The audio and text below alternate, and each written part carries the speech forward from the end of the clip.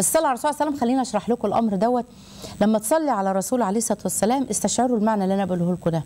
اللهم صلي أنزل البركة والرحمة وسلم كأنك بتسلم على النبي صلى الله عليه وسلم. آه إن شاء الله نقول أهل بيته ونسلم عليه. سلم على من لا يصفح النساء صلى الله عليه وسلم إلا أهل بيته. اللهم صل وسلم على رسول الله. اللهم صل وسلم وبارك عليك يا رسول الله. كأن الرسول صلى الله عليه وسلم قدامك. ولما تصلي على الرسول عليه الصلاة والسلام استشعر البركات بعديها. كم أجعل لك من صلاتي يا رسول الله؟ ربعها؟ قال إن زدت فهو خير. آه، نصفها؟ قال إن زدت فهو خير. قال أجعل لك صلاتي كلها يا رسول الله. بيحبوا النبي عليه السلام قال إذا يغفر ذنبك. خلاص أدها ويكفى همك عايزين إيه بقى تاني؟ ذنب مغفور وهم متشال. يبقى هنعيش في الدنيا إيه؟ في سعادة. هو أنا عايش في الدنيا في عليا ذنب وكذا وبعصي وبعمل كل لما أتوب وأعود وأتوب وأعود. أو عليا هم ودين وغم. خلاص الصلاه على الرسول صلى الله عليه وسلم بتعمل كده. آه، آه، كان في يعني آه، أزمة من الأزمات. ما فيش حد في الحياة من غير أزمات عايز أقول لكم أي أزمة تعدي عليك أي ابتلاء يعدي عليك أكثر من الصلاة على الرسول عليه السلام. ولما تكسروا من الصلاة على الرسول عليه السلام بعدها هتشوفوا قد إيه إن الأمر ده انفرد. ببركة الصلاة على محمد. مجربة مجربة. راح للشيخ وقال له علي كذا وديون وكذا قال له صلي. قال له جاب تصلي جاب خمسة سبعة مش خمسة آلاف سبعة آلاف فيما فوق.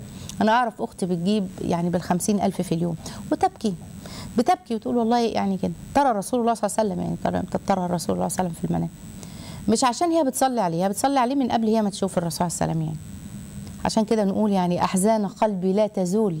حتى أبشر بالقبول وأخذ كتابي بيميني وتقر عيني بالرسول عليه الصلاة والسلام. صلوا عليه.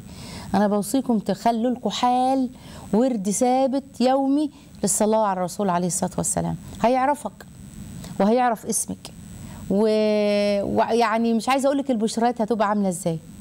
إيه، عندك ابن آه، ما أنتش عارفة تعملي فيه إيه ومغلبينك العيال؟ صلي على الرسول عليه السلام. ببركة الصلاة على محمد. إيه، زوجك مش حاسس بيكي وعاملك وقهرك وكم- صلي على الرسول عليه السلام. حماتك ما أعرفش عاملة فيكي إيه صلي على الرسول عليه السلام. خليه يعرفك. خلي النبي صلى الله عليه وسلم يعرف اسمك. إيه، إيمان منى مروة هاجر يعرفكم. هالة يا رب يعرفنا. اللهم آمين. صلوا على الرسول عليه السلام. أنا أوصيكم بالذكر ده. طيب الإمام النووي كان بيقول على الذكر إيه؟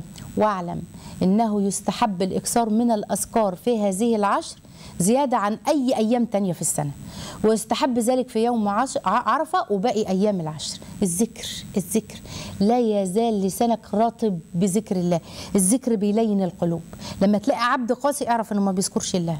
لما تلاقي قلب واحد قاسي كده مش رجاع كده أو تقول له ربنا كده خلاص يوجل ويستحي. لا لا اعرف إنه ملوش حل مع الذكر. معروفة.